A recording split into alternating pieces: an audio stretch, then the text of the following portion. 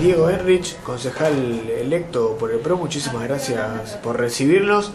Acaba de, de terminar la, una sesión más del Consejo Deliberante. ¿Cómo se prepara para enfrentar ese trabajo legislativo que se viene? Eh, la verdad que el- los números demuestran que va a ser una negociación muy dura cada sesión, Eh, pero bueno, nada que no se pueda conseguir con conversaciones y, y charlas ¿no? con los distintos bloques. El trabajo va a ser de mucho consenso, seguramente tratando de buscar que no se sienta esa, esa falta de mayoría absoluta que va a haber. Exactamente, creo que es una, una situación en la que se puede llegar sin problema teniendo buen diálogo entre los distintos bloques. Ese diálogo se está dando ahora, si se quiere, con, esta transición que ya comenzó. Hace, hace unos días se reunieron Macri y Enrique García, intendente de Saliente. ¿Ya ese diálogo tiene que ver también con esta transición? Y obviamente que es parte de- del diálogo que se viene, eh, del nuevo gobierno que también está empezando. Y bueno, creo que todos tenemos que colaborar con eso, tanto los salientes como los que estamos entrando.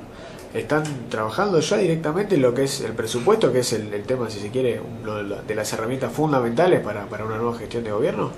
El presupuesto, digamos que es una propuesta que, que hicimos y que tuvo, tuvo buena recepción con, la- con el oficialismo actual.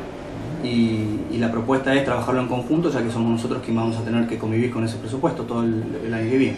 Pero ya se está tratando, digamos, de... Eh, está- se está empezando a tratar, así es.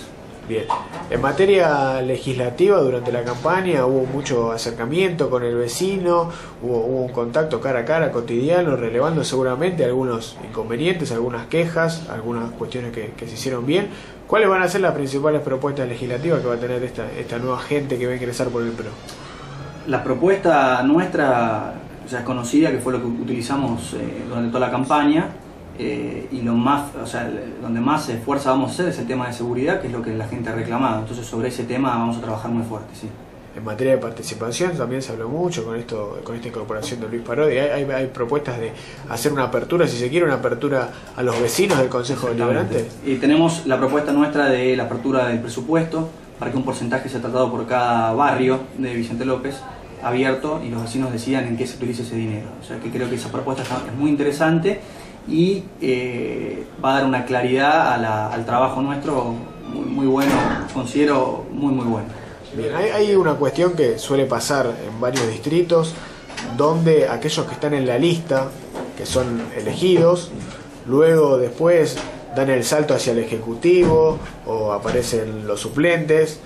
¿Cómo están manejando eso? ¿Van a asumir algunos, otros no van a asumir? En su caso particular, ¿cuál es, cuál es la decisión si ya está tomada? Esto es una, una negociación interna, por ahora mantendremos, eh, se, manejará eh, en las líneas que, se tengan que manejar. Nosotros somos un partido orgánico y se va a responder a lo que se pida y en función de eso se, se harán estos, estos cambios que, que estás refiriendo. Y en el, y en el plano personal, la intención suya es asumir efectivamente como concejal. Sí, totalmente. Para eso, para eso me presenté, para eso la gente me eligió y, y- y es lo que voy a hacer. Bien, ya para hablar un poco más general, el tema de la elección, se dio la victoria de Jorge Macri.